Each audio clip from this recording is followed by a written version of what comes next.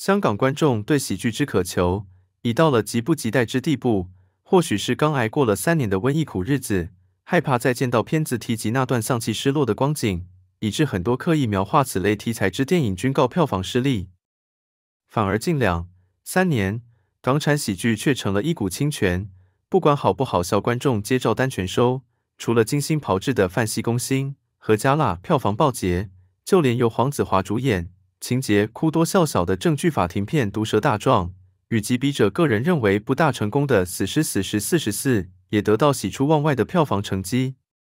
但这个世界只有一个周星驰，一个黄子华，喜剧也是世上最难拍、最难成功的片种。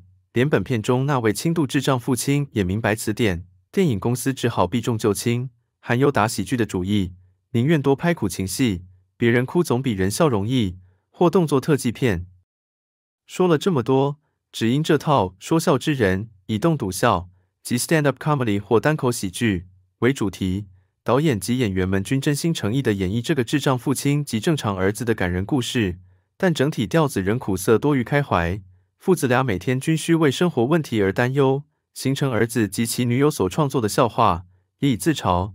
自伤、自怜为主，故此那些盼望入场欣赏捧腹大笑喜剧之观众，未必能完全得到满足。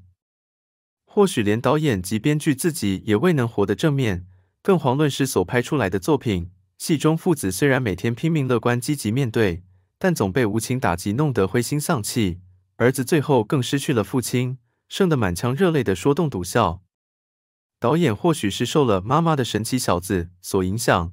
遂创作出这个儿子的神奇爸爸版本来，但喜呼戏中说笑的人，最终没有如神奇小子般成为人生胜利组，便连开一场公开表演之愿望也未能达成，仅向着那十个观众继续做其业余式表演，仍活于悲情城市中。当然，电影不乏神来之笔，那场儿子带父亲嫖妓一场戏，的确别出心裁，做到情景交融，让抑压多年的父亲终于得到情绪上的释放。吴兆轩的演技比前作大有进步，不愠不火而内敛。或许出于导演之刻意要求，笔者却觉得这位孝子表现过于冷静，缺乏年轻人的一团火。若能更多注意眼神上的发挥，其演艺事业将更上一层楼。袁富华当然演的落力，其演出更让笔者联想到由 Sean Penn 及 Dakota Fanning 所主演的《不一样的爸爸》，I'm Sam。竟想不到的，全片演得最抢镜的。竟然是阮兆辉所饰演的退休校长。这位慈祥长者以教育工作者的角度，不停鼓励袁富华。他明白到，只有工作才能使后者得到存在感，也是戏中唯一懂得以各种方法激励他的人。例如给他升职为小食店的二厨师，更在两父子的背后引领他俩走向正确的人生方向。每一个人在生命中能遇到这种人生导师，方是一种恩赐。最后。